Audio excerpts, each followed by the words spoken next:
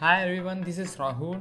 Today in this video, I would be talking about the HP mouse X1000. I brought from the Amazon Lightning deal of rupees for rupees 199.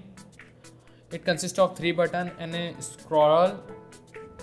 You can see the outside of the box and the price of the return on the box is about 299 rupees so let's get started. Inside it there is a mouse. The mouse it consists of usb cable okay? And the second thing is consist of the quick start guide. So it tells how to connect the hp mouse with the monitor. And third is the warranty card it provides one year warranty.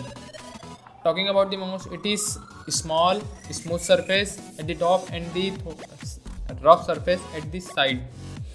Optical sensor at the bottom and some information at the back. It is usb operated mouse.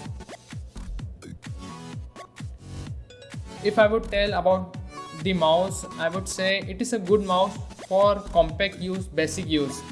If the person is using laptop then he must prefer it. And also it is a branded mouse with cheaper price. So it is a good mouse. One should buy if he prefer the hp company. Thank you. More tips and tricks like our video and subscribe to our youtube channel